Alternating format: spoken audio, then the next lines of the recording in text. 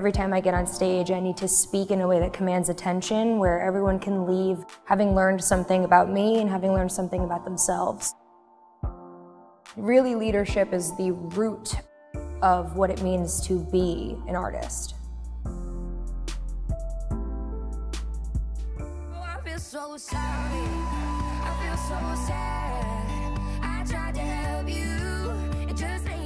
I think that being a person in the media, you can put a tremendous amount of pressure on yourself to be perfect, and nobody really is, you know?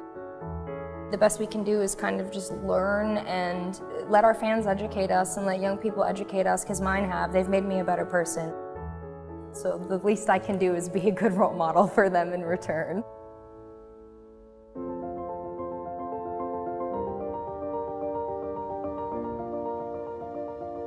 I have always had, you know, a unique relationship with being a part of a mixed race family.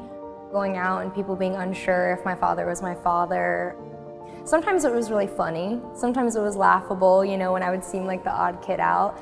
And other times it was really scary and really uh, violent and, and, unnerving. I was very adamant about speaking about my experience being mixed, but I was also very aware that I was white passing. The Black Lives Matter protests were, you know, it was a really humbling time. It was terrifying, but not nearly as terrifying as what it's like for my father or for my brother, who live with the threat of that violence every single day. And it made me realize that no matter how much I do, I can always do more.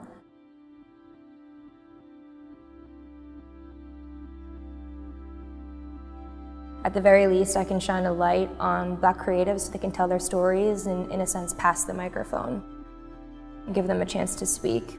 Because I think the first step to eliminating the hate that is present in this country right now is to create an open channel of understanding